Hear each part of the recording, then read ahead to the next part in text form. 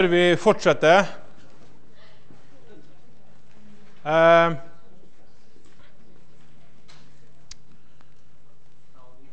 Kompendiumet kommer ikke før på onsdag. Beklager. Eh, det kommer av nettopp dette ekstrabiten som vi måtte gjøre nå, som kommer på fredag. Og vi måtte bytte forelesning og sånn. Eh, har gjort at jeg måtte ha tatt hånd om det. da. Så jeg mista litt tid i helga og sånn på å gjennomføre kompendiumet eh, til mandag. Eh, så det kommer på onsdag. Beklager for det. Det blir da en, en mer detaljert eh, beskrivelse av det vi har gjennomgått, selvfølgelig. Okay. Så eh, Disse kompendiene er jo ikke lagd eh, før, så liksom, dette bruker jo mye av tida mi til å lage. da. Så, uh, men uh, det er desidert hen, Det er veldig hensiktsmessig selv om det kommer litt seint, for da slipper dere å håndtere masse forskjellige bøker og kjøpebøker og styre og stelle. da. fordi at den jeg har ikke funnet ei god bok som på en måte dekker alt sammen her. det er liksom litt av Jeg, jeg opererer sjøl med tre forskjellige bøker. da. Og det har jeg ikke lyst til å prakke på dere. da. Så dermed så uh, Bear with me, da. Så kommer det. Ok? Uh, ja. Vi var på masterplanlegging. Vi har gjort en disaggregering fra det aggregerte produksjonsplanen. Gått fra familier til sluttprodukt. Og det vi kalte for uavhengig etterspørsel. Eh, vi har en nå Fra å se på kvartal, så ser vi på ukesbasis. Men da har jeg et spørsmål til dere. Ok, så Hvis vi sier eh, hvis vi sier at masterplanen er på tre måneder, da, et kvartal Nei, altså aggregerte planen er på et kvartal. Det er jo tre måneder, sant? Og så sier de at masterplanen er på to til fire uker. Hva med de to neste La oss si at det er fire uker, da. Altså en måned. Hva med de to andre månedene? Hva som skjer der, da? Noe som er kjent med det begrepet? Så vi har altså en, eh, vi har en aggregert plan.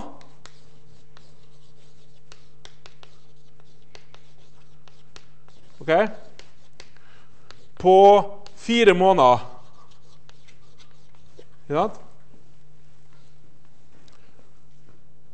Så, vi, så går vi ett hakk ned til masterplan.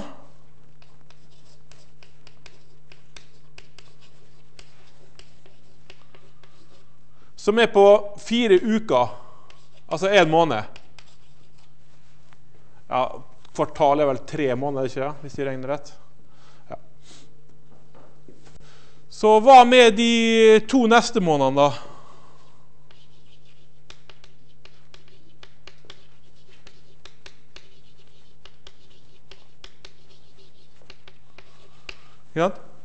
Så vi har, vi har, tenkt at vi har planlagt for tre måneder. Så har vi gått ned på masterplannivå, sett på sluttprodukter. Vi har lagd en plan for fire uker. Men de to neste, hvordan gjøres dette her i bedriften da? Det er rullerende. Det kalles for rullerende planlegging. sant? Eh, og Hvorfor gjør man det sånn? Jo, pga. usikkerheten. sant? Det er ikke hensiktsmessig å gå tre måneder fram i tid på sluttproduktnivå. Vi har rett og slett ikke peiling. Eh, på, hos Coca-Cola så hadde jeg et veldig artig case der. da, Fordi at eh, de opererte med rullerende plan. Og den, den, den, rullerende planen var på to uker. Så det vil si altså at da var det Masterplanen var ikke på fire uker, men den var på to uker i deres tilfelle. Eh, men de har jo en voldsomt produksjon, et voldsomt volum. Eh, så de fant ut det at det å bare å Antall planleggere som gikk kom det, på det møtet, var over ni ledd. det er ni ledd i deres bedrift som de sitter og planlegger på før de har lagd den full, totale kjøreplanen deres. Ni forskjellige personer på forskjellige avdelinger som må innom planen i en eller annen rekkefølge for at den totale planen skal være ferdig. Og Det som var interessant, da, det er at for å få denne totalplanen til å bli ferdig, så tok det dem sju dager. Så det, det å lage planen tar sju dager. Og Hvis de har en, da, en planhorisont på to uker, da, så kan dere tenke dere eh, hva slags problemer som oppstår med en gang de må begynne å gjøre om igjen planen. For det, shit happens. Starter tilbake igjen en plass. ikke sant? Da går det tre nye dager, sant? for da må alle disse leddene gjennom samme plan på nytt igjen. Sant? Bare at de gjør de tilsvarende endringene som måtte dukke opp. Og i løpet av i løpet av ei uke så kunne Coca-Cola tømme lageret sitt. Tømme lageret, og De har et svært lager. Dette er da bedrift, produksjonsbedriften på Robsrud i Oslo. De har et gigantisk lager. Ufattelig store sånne kass, eh, sånne kasser med Coca-Cola og Fanta og liggende rundt. Men de tømmer altså det lageret på sju, sju, dager. Så når de lager en masterplan, da, i prinsippet så de, har de egentlig ingen aning om hva de har om ei, om ei uke da, på lager. Og, eh, og, med, og, og planleggingsprosessen i seg sjøl er for lang i forhold til horisonten. sant? Sju dagers planleggingsprosess gir dem, ga dem et eh, Så har de en sårbarhet i forhold til det å i forhold til det at de må rullere. Ikke sant? Så de må begynne da, Hvis du har en 14 dagers plan, så må de begynne midt i den planen. Midt, kommet halvveis i den planen, så må de begynne å planlegge neste 14 dagene. sant? Hvis ikke så planlegger de for det som allerede har skjedd. Det gir jo ingen mening. Så de må planlegge hele, hele, hele tida i forkant. Uh, så dette kalles rullerende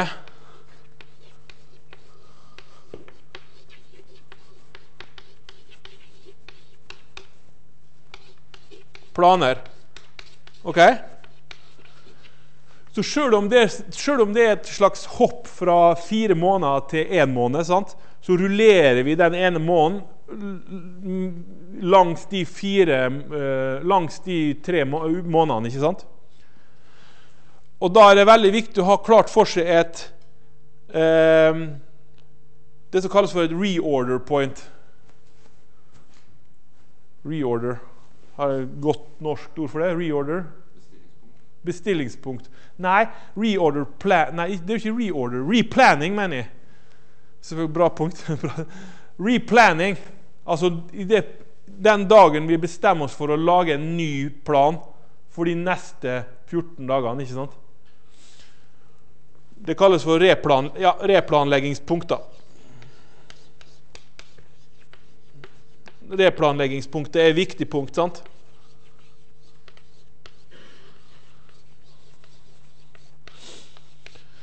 Og Det var nettopp dette Coca-Cola sleit med, og ville da på en måte høre om vi kunne hjelpe dem. da.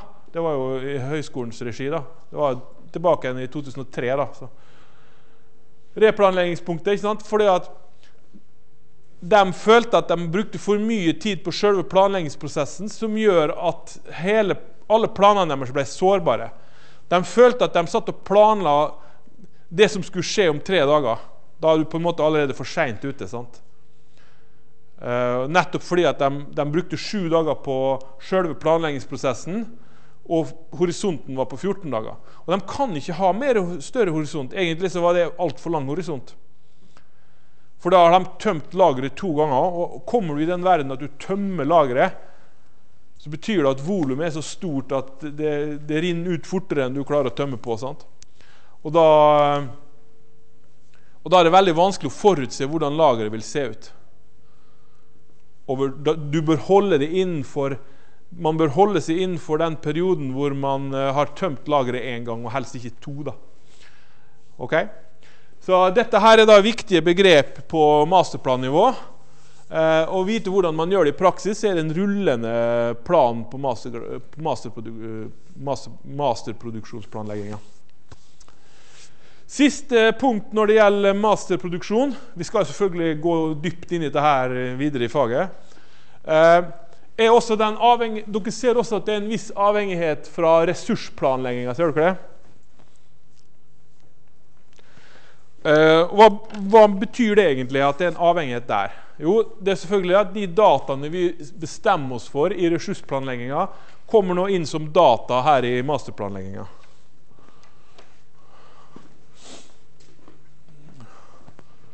Så det er et nytt punkt under der, da. Eh, kapasitet. Kapasitetsskranker kalles det gjerne. Et annet ord er føringer. Og ordet føring, eller skranke, eller krav, ordet føring Jeg kommer til å bruke ordet føring for det meste, for det er det matematiske ordet. Det kommer dere til å bli vant med både å elske og hate. For det, er et, eh, det er et vanskelig begrep i dette her eh, faget. her. Føringa. Hva ligger i ordet føring, tror dere? Hva ligger i ordet føring? Jo, når vi skal planlegge, sant, så skal vi ta noen beslutninger. Vi skal ta, bestemme lagernivå, seriestørrelse, hvor mange omstillinger vi skal ha. Men har vi nødt til å forholde oss til noe? Ja. Har vi uendelig lager? Plass? Ikke alltid det. sant? Det er ikke sånn at du kan produsere ut ha, ha, Hver dag, hvor mange colaflasker kan vi produsere? Hver dag. Og vi har et makstall. sant? Vi kan ikke produsere en milliard uh, colaflasker. Sier seg sjøl. Dette er kapasitetsskranker, føringer i beslutningssystemet. Vi kan ikke ta en beslutning som, at, som, som sier at uh, vi skal produsere mer enn det vi har mulighet til å produsere. sant? Enig? Vi må forholde oss innenfor virkelighetens grenser. Og det kommer som data fra ressursplanlegginga, hvor vi da husker vi bestemte hvor mange maskiner vi skal ha, eller hvor mange linjer eh, vi har Coca-Cola opererte med tre forskjellige linjer ikke sant? hvor de kunne, kunne produsere da, cola samtidig. ikke sant? På tre forskjellige linjer. Uh, men det gir da en totalkapasitet og en føring i systemet som vi har nødt til å oppfylle når vi tar beslutningene. Det viser seg det at eh, når vi skal det som blir oftest gjør at vi må drive brannslukking i en eh, bedrift, det er to ting. Det er usikkerhet. sant? Altså det vil si at det som vi trodde skulle skje, ikke skjedde. Da er brannslukking. Men et annet punkt er det at vi hadde lagd en plan som var urealistisk, som ikke oppfylte det kapasitetskravet vi hadde. Da er det brannslukking.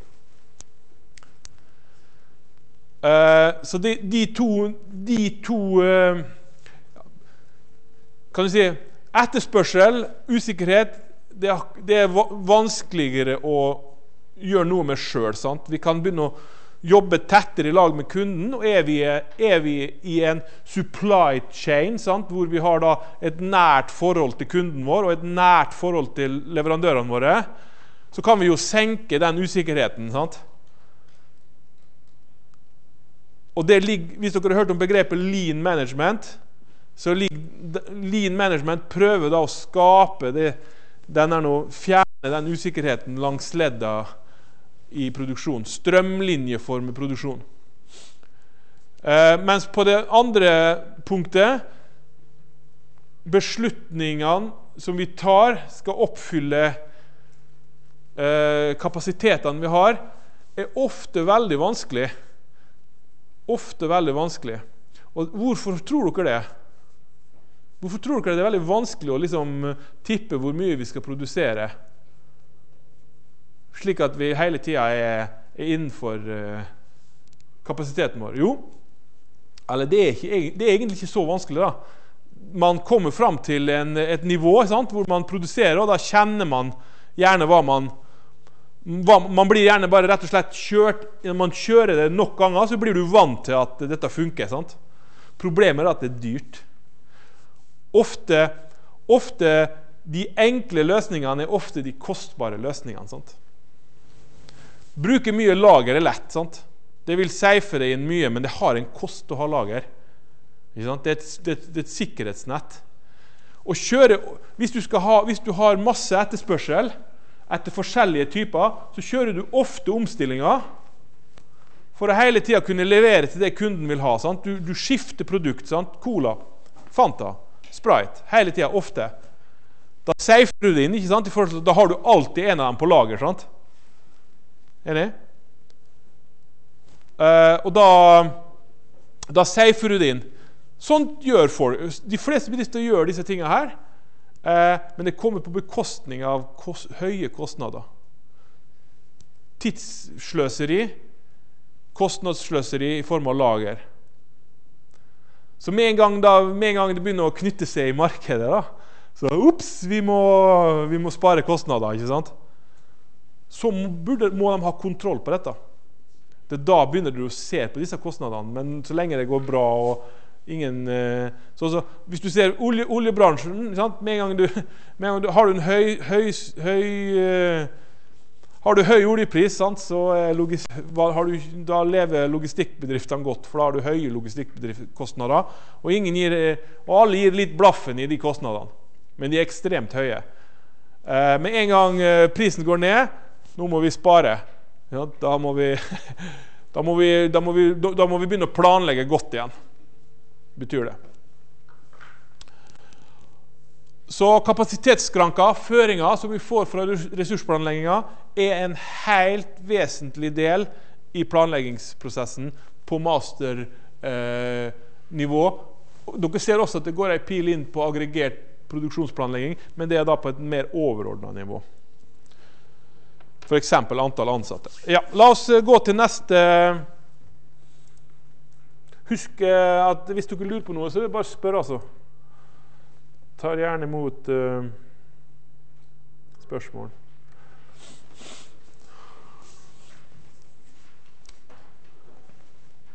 Neste nivå er det som kalles for MRP-planlegging. Så la oss ta en titt på det.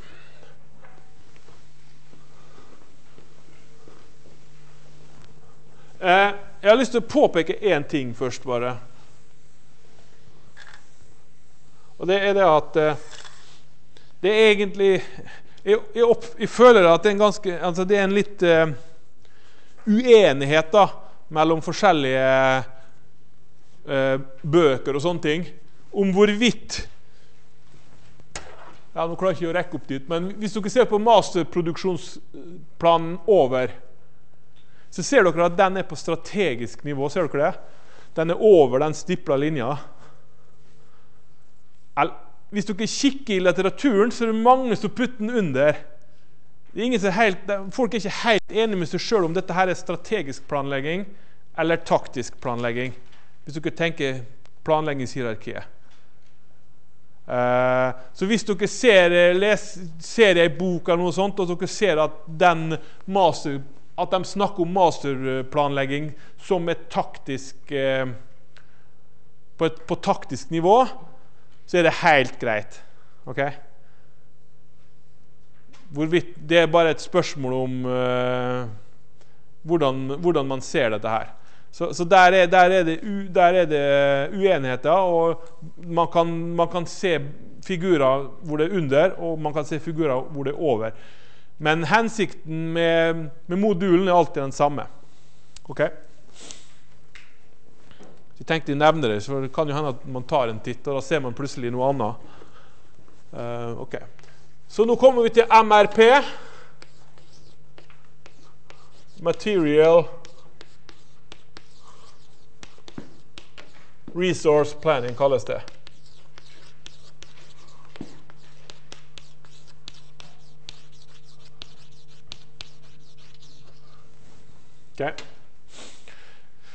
Det er forresten det opprinnelige Det første planleggingssystemet som man begynte å lage, da, i hvert fall i moderne tid, dvs. Si altså i data, datamaskinens tidsalder, da, så er MRP et eget begrep.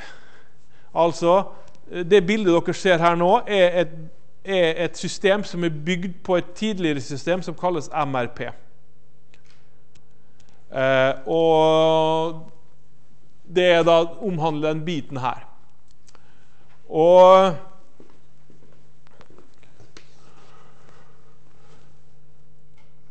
Da snakker vi om eh, avhengig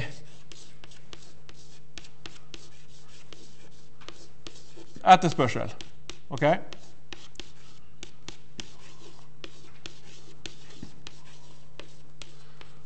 Så da blir det å ta opp igjen eh, stolen, da. Prøver å se om vi er like heldige denne gangen her.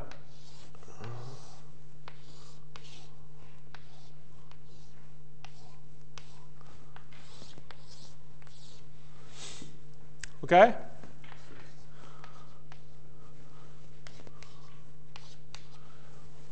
Og avhengig av etterspørsel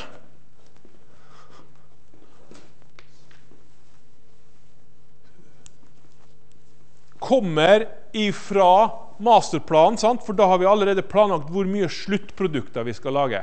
Sant? Så hvis vi vet at vi skal lage 40 stoler Ti stoler var det. Så kan vi stykke det ned til 40 stolbein. Ti stolplater. Og ti eh, stolrygger. Ja.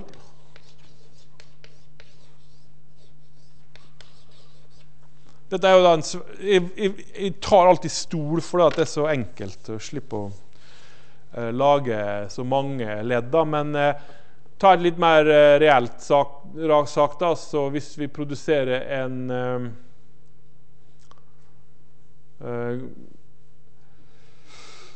En Moxie-dumper Moxie finnes her i, på, i Frena. Produserer store dumpere. Hver dumper ser akkurat likedan ut. sant? Uh, den har da en uh, liste av deler i seg, ikke sant? Enig? Den har fire hjul osv. Vel, den uh, strukturen ser, er relativt mer komplisert enn fire stoler. sant? Uh, den kommer ifra det som kalles for bom. Okay? Så nå tar jeg en eh, sånn bolk i slengen, og det kaller jeg da for bom. Kaller, er det noen som har hørt om bom?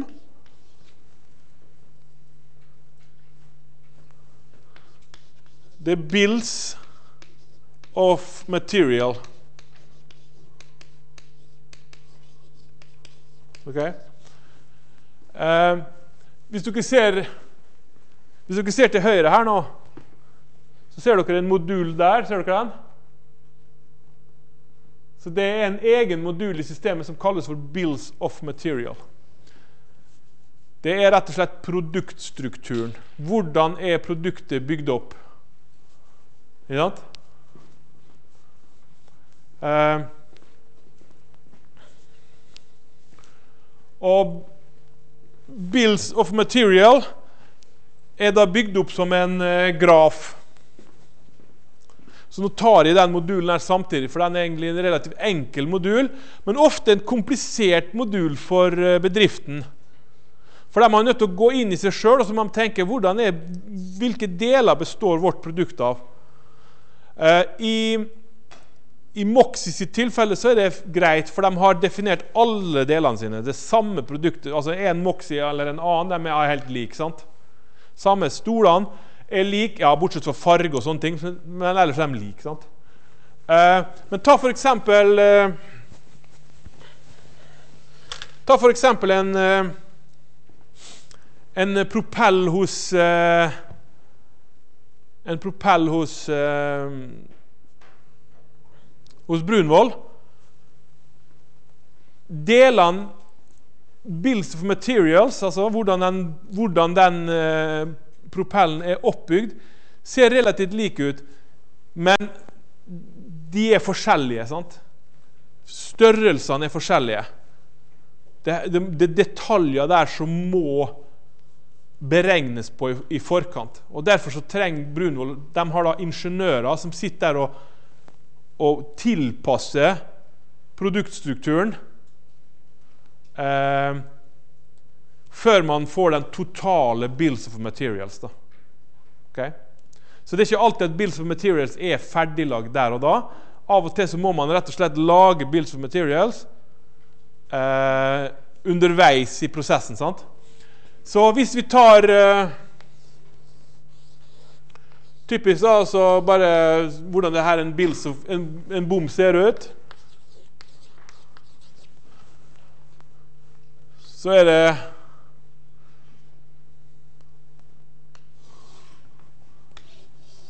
et hierarki av bien, bein.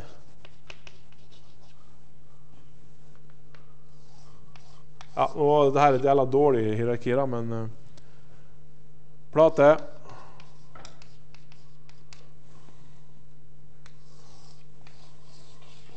Rygg. Ja. Dette er en enkelt boom of bills of materials. Eh, men man kunne tenkt seg da at vi kunne begynt å tatt hver komponent igjen i mindre komponenter. sant? Og i mindre komponenter. Uh, og den bills of materials trenger vi i MRP-planlegginga. Uh, eh, hvis ikke, så uh, Nettopp fordi at her skal vi prøve å svare på et par ting. Og Da kommer vi tilbake igjen til beslutningsnivået. sant?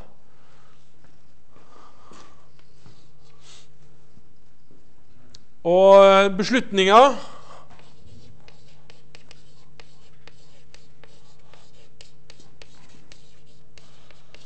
Noen som har noen tips?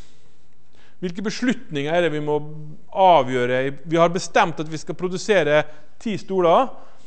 Hvilke beslutninger må vi lage videre da? Jo, nå skal vi se på avhengig etterspørsel. Så vi snakker om, snakker om sluttproduktene? Nei, vi snakker om komponentene. Det kalles gjerne komponent og råmateriale.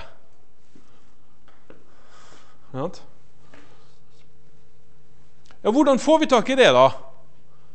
Ikke Vi, skal vi lage en stol, så må vi ha fire bein, én rygg og ett sete. Så ergo så trenger vi de delene. sant? Hvis vi mangler de delene, da må vi skaffe dem inn. Hvordan skaffer vi dem inn? Jo, enten så skaffer vi dem inn gjennom å kjøpe dem fra en annen leverandør, altså på innkjøpsdelen, eller så lager vi det sjøl. Ikke sant? Så komponent Innkjøp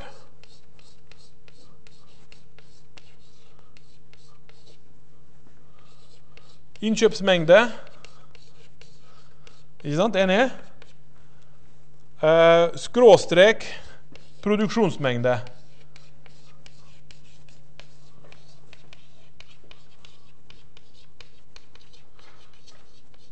Så legg merke til at de samme, samme beslutningene kommer om igjen. sant? Eh, bare at nå ser vi ikke på sluttprodukt, nå ser vi på komponentnivå. Eh, ja, spørsmål om lager? Ja, i høyeste grad, sant?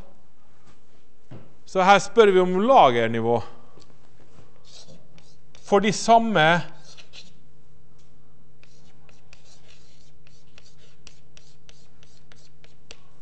avhengig av komponent. Jeg kan skrive her 'komponent'.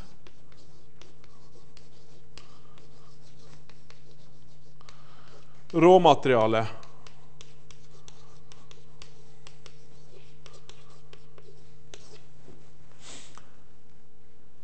Brunvoll er et veldig godt eksempel på hvor, hvor de opererer med komponenter og råmateriale.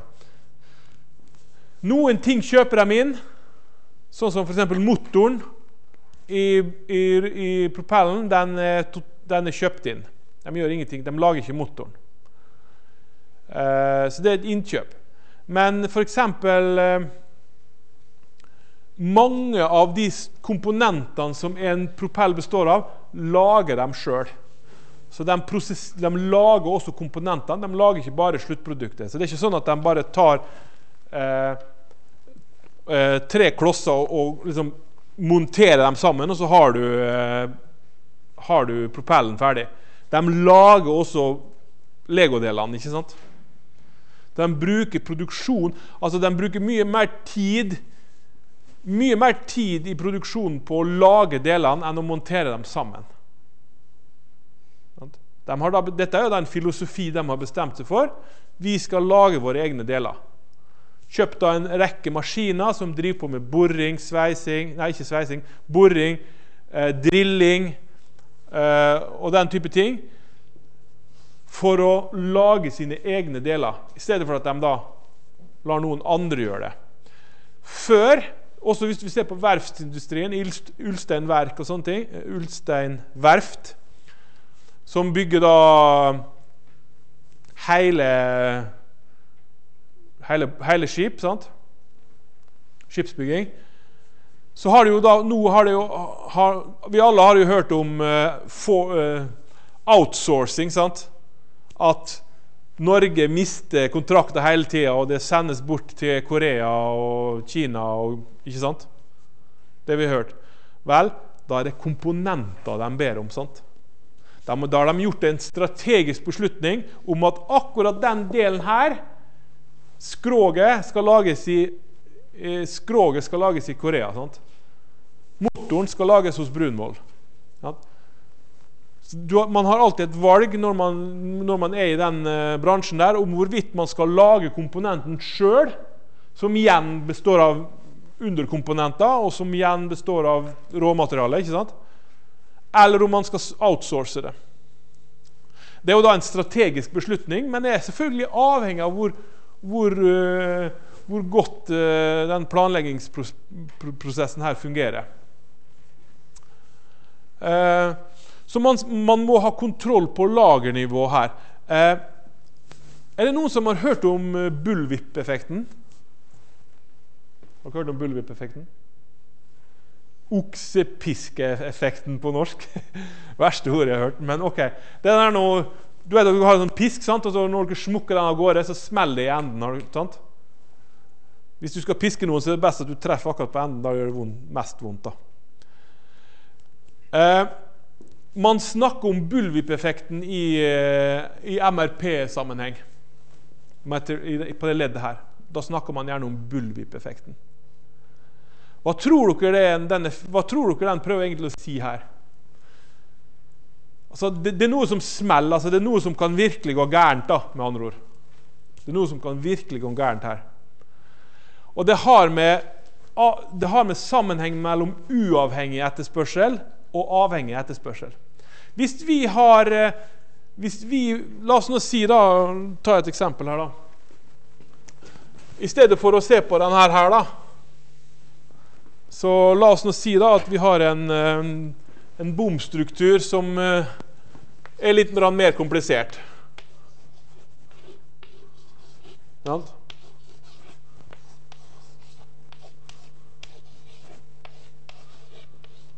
Sånn her, for eksempel.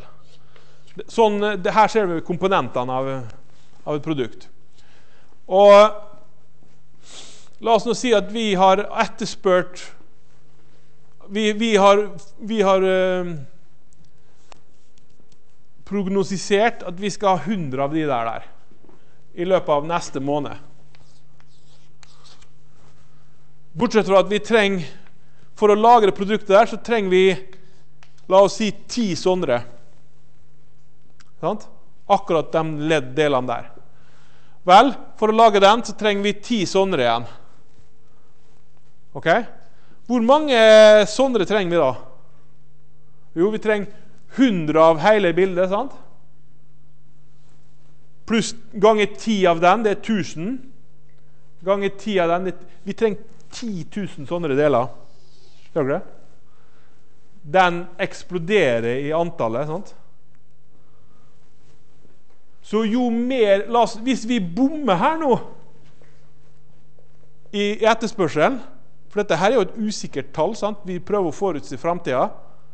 Hvis vi bommer her, hvor smeller det hen da? Det smeller i enden her. sant? For jo større det tallet der er, jo det her mangedobles jo. Enig? Så da kan du sitte igjen med et komponentlager som er altfor stort sant? hvis du bommer på salget deres. Det er store tap. Dette kalles for bullwhip-effekten. Det, det, smekker godt i enden av uh, bomstrukturen. Uh, et uh, veldig viktig En veldig viktig faktor i MRP-planlegginga som man må aldri glemme med, det er ordet ledetid. Ledetid.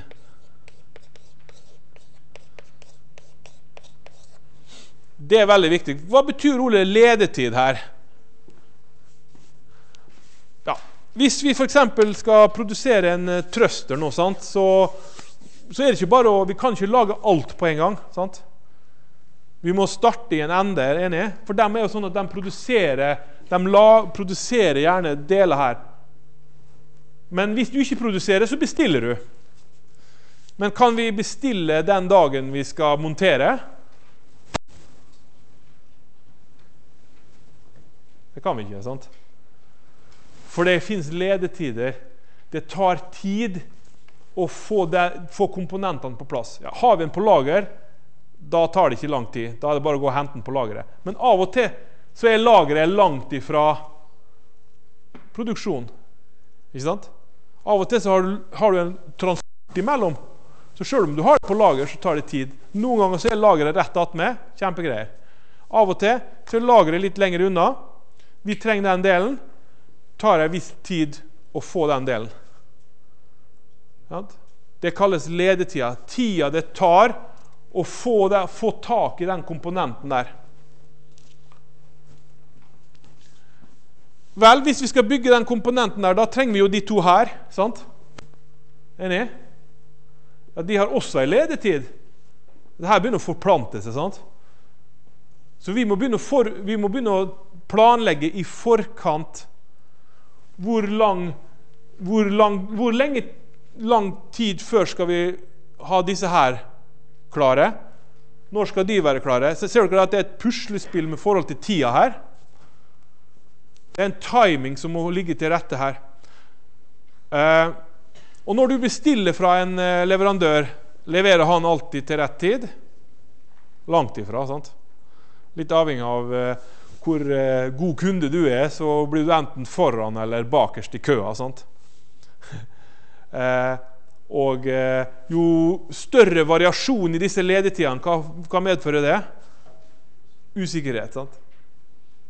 Den usikkerheten er med på å piske i bullbip-effekten. Veldig. Og eh, lean management, som er veldig in for tida, handler om å redusere ledetida for komponentene våre.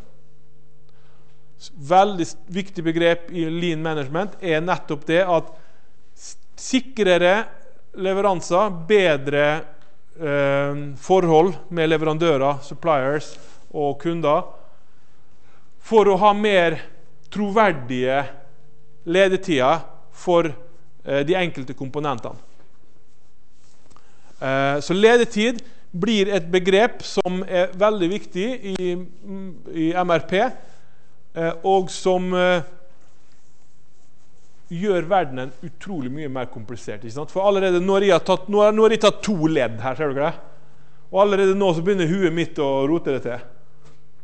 Som i, som i sjakkspilling. Når jeg har tenkt to ledd, så stopper det for meg. sant? Tenk hvis vi produserer en, eh, en eh, dumper, da, altså en sånn eh, Moxie-dumper. Da er den situasjonen her relativt mye mer komplisert. da. Og noen bestiller dem inn, og andre produserer dem. Men problemstillingen er den samme. Når skal vi starte? Når skal vi eventuelt Når skal vi legge inn bestillinga? Eh, og når vi først bestiller, skal vi bestille flere. Kan jo hende at vi trenger flere også. ikke sant? Og ofte så kan du få rabatter hvis, du, hvis, hvis man eh, bestiller flere også.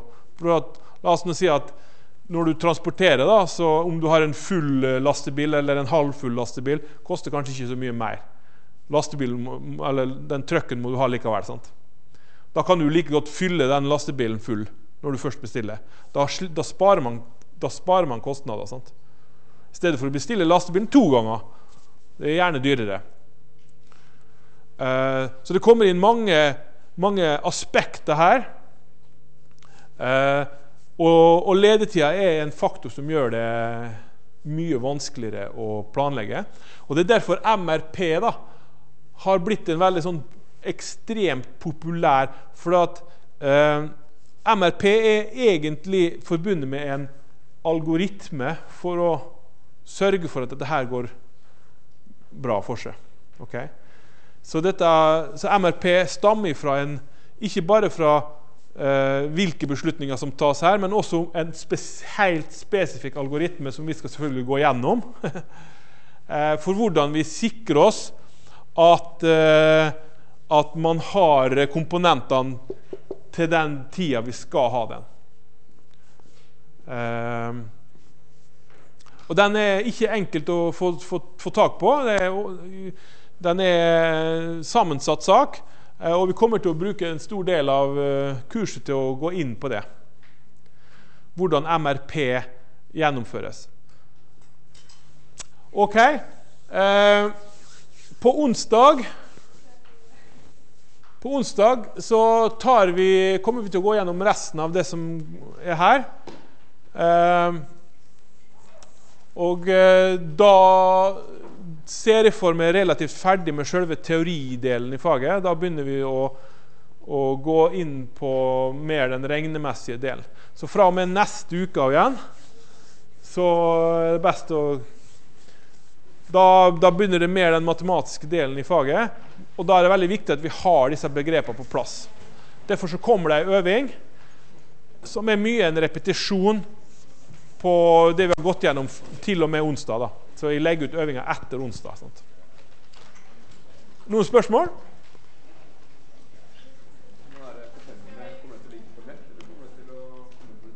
Ja, et godt spørsmål.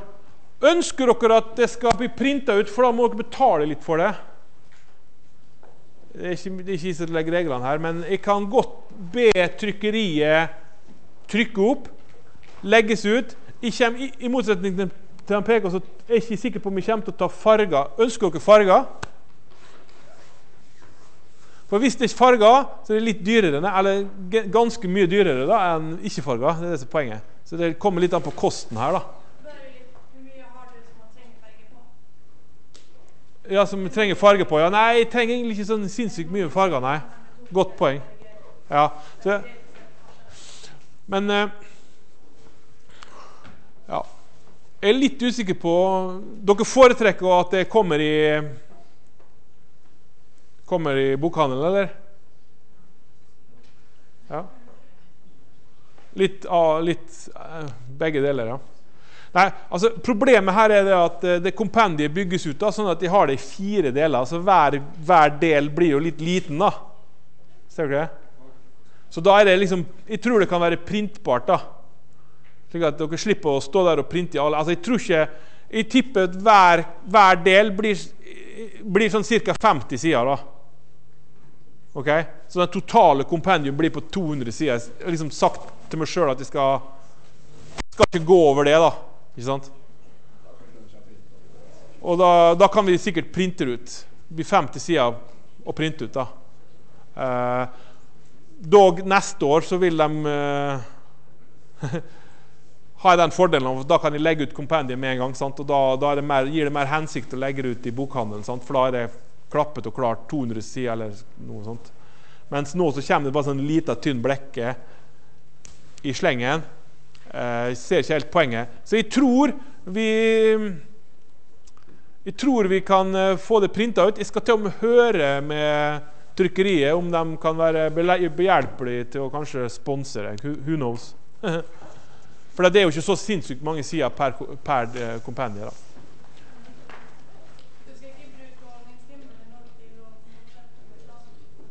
Øvingstime? Tenkte du nå? Ja Kunne han ha gjort det? Har dere lyst til at vi kan kjøre litt mer nå? Det, hæ? Ja. Øvinga Her kommer i, på onsdag kommer det øving. Eh, vi kan heller eh, Det var et godt poeng, men jeg hadde egentlig ikke planlagt det. Så vi, vi, vi stopper her.